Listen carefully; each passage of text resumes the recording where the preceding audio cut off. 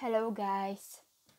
In this video I'm going to show you how to edit your name on the GeoExpert application.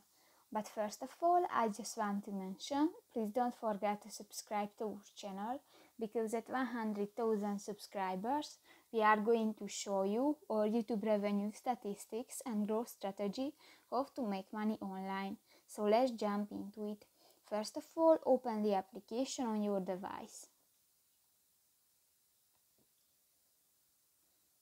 Go to the profile icon at the upper right corner of the screen and uh, click to the edit uh, button at the upper right corner of the screen again and here uh, tap to the pencil icon next to the player at, at the lower side of the screen and here click to the player delete that and write your name